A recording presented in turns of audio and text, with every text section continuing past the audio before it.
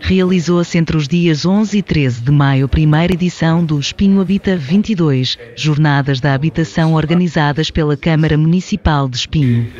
Não aconteça só este ano, mas que aconteça sempre.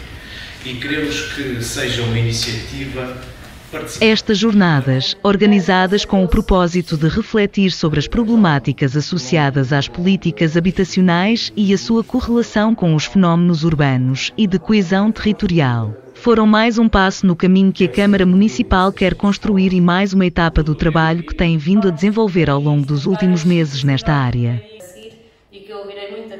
O dia 11 de maio e com a presença da Secretária de Estado da Habitação, Marina Gonçalves, a sessão abriu com a assinatura do contrato entre o município e o Instituto da Habitação e da Reabilitação Urbana, que fará avançar a obra. No âmbito do primeiro direito e com fundos do Plano de Recuperação e Resiliência, vai reabilitar 12 fogos do Bloco F do bairro Social da Ponte de Anta.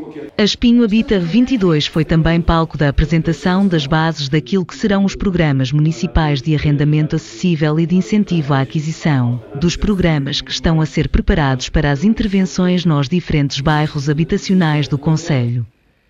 Debateu-se a reabilitação na sua abrangência mais global e de que forma poderá ser um motor para alavancar o futuro de Espinho. Falou-se do PDM, da arquitetura, da engenharia, de sustentabilidade e de questões da eficiência energética e muitos outros temas.